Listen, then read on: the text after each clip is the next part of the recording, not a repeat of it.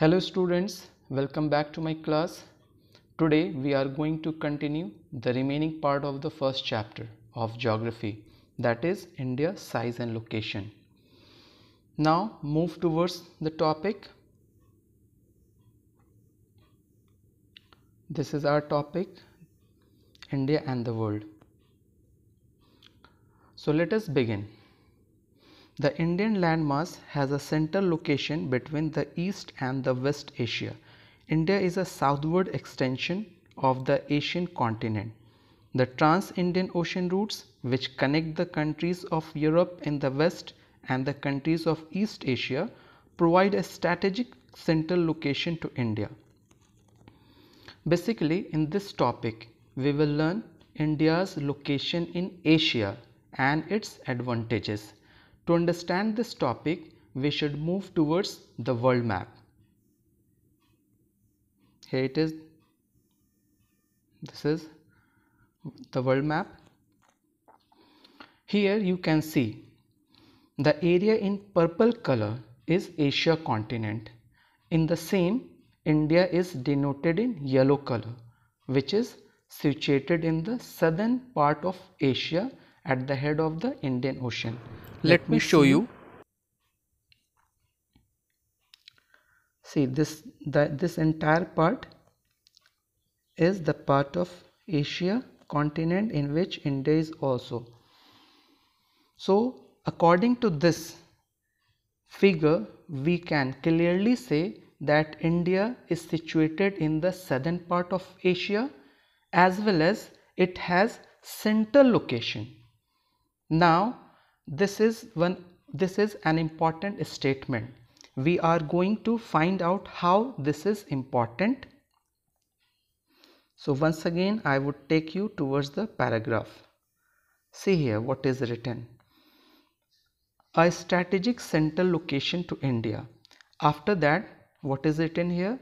Note that the deccan peninsula protrudes into the indian ocean thus helping India to establish close contact with West Asia, Africa and Europe from the western coast and with Southeast and, and East Asia from the east coast. What is what is the meaning of this these lines? Once again I would take you towards the world map. See here. Actually it is written that India's location is in Asia is very strategic. Why is it said so?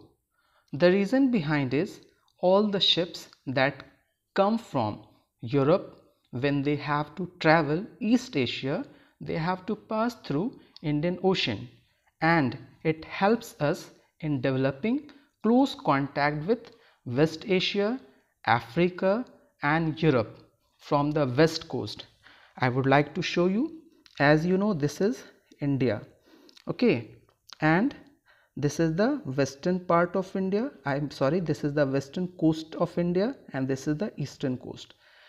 As you know that all the ships that come from europe that come either from this side or from this side also. So they all have to pass through indian ocean. This is very important for India as India also connected with all these countries. Now here I would show you that how this location I mean India's location in Asia continent is very strategic. As I mentioned this is the western coast. So from the western coast India can easily reach to the West Asian countries. These are these are West Asian countries. These are the East African countries and Europe. So from western coast the ship goes to all these countries of the world. So that is the reason we say that India is benefited by this kind of location. In the same manner, India is well connected with East Asia and Southeast Asian countries. First, I would like to show you which are the countries that is called East Asian countries. So here, in which Japan, Korea, okay, come. Thereafter, Southeast Asian countries. So these are Southeast Asian countries. Then how we are connected with these countries? Definitely from the eastern coast. This is the eastern coast. So the Indian ship goes to these countries okay by these routes. So in this way India is well connected by all the countries of the world through Indian sea routes. So I think it is clear now and because of these reason the Indian Ocean got its name as you know that uh, India is India is just above the Indian Ocean okay and that is why this ocean got its name Indian Ocean. So now we should move to the topic once again. See here. One more line is written here. No other country has a long coastline on the Indian Ocean as India has and indeed. It is India's eminent position in the Indian Ocean which justifies the naming of an ocean after it. See, this is an important line. What is this one? no other country has a long coastline on the Indian Ocean. it means we are talking about that India has the longest coastline in context of Indian Ocean. It does not mean that India has the longest coastline in the world or Asia continent. If you have been asked which country has the longest coastline in Asia, then your answer will be Indonesia. And if it is in the context of world, then it will be Canada. But if we are talking about which country has the longest coastline in Indian Ocean then our answer will be India. So now this paragraph is clear we should move to the next paragraph.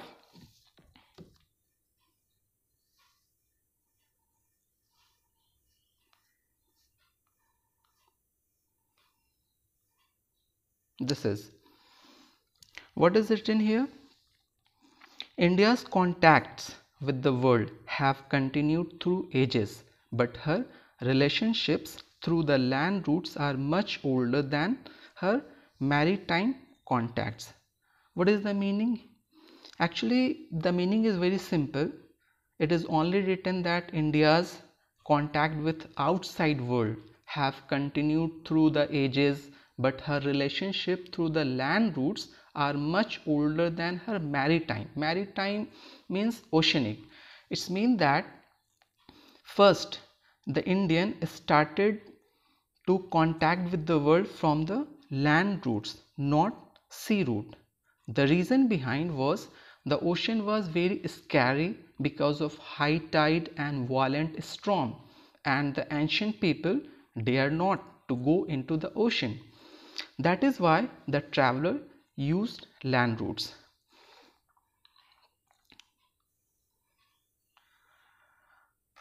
Now see the next. The various passes across the mountains in the north have provided passages to the ancient travelers while the ocean restricted such interaction for a long time.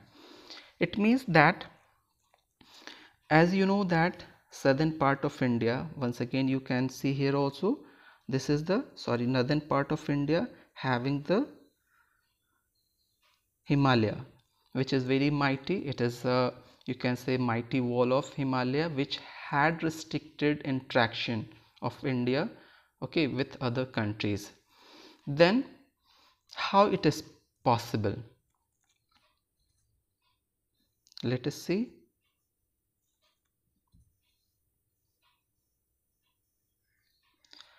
Basically, the Himalaya which lies in the north, northern part of India stood as a mighty barrier between India and the rest of the world.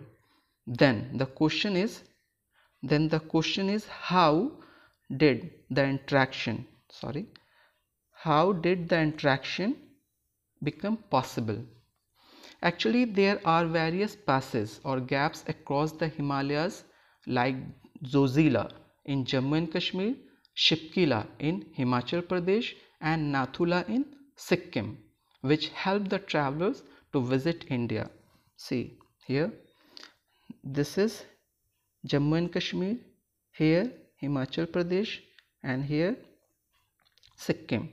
So and it is Himalaya. So people got the route in Himalaya through the gaps or passes and because of that they came to India.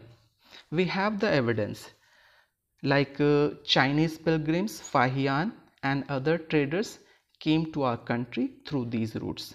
So now this paragraph is clear. See what is the next.